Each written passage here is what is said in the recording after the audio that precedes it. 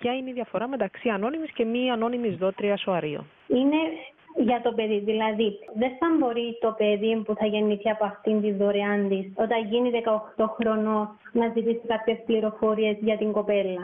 Ενώ αν μία ανώνυμη δότρια οαρίων, όταν το παιδί κλείσει 18 χρονών, μπορεί να επικοινωνήσει μαζί μας, να κάνουμε την ταυτοποίηση.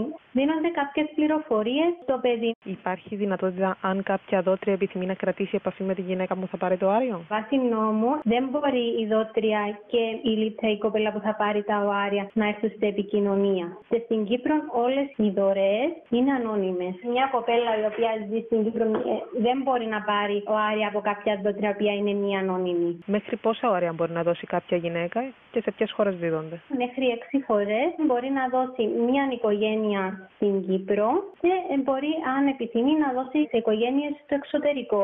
Η κάθε χώρα έχει τους δικούς της κανόνες με βάση τον πληθυσμό. Τι γίνεται για να διασφαλίσουμε ότι δεν θα έχει αιμομηξία στο μέλλον; Δεν υπάρχει κάποια ανησυχία για αιμομηξία γιατί το Υπουργείο Υγείας στην Κύπρο έχει κάνει τους προπολογισμούς της και είπε ότι αν μια δόκτρια δίνει σε μια οικογένεια στην Κύπρο, τότε δεν υπάρχει αυτή η περίπτωση.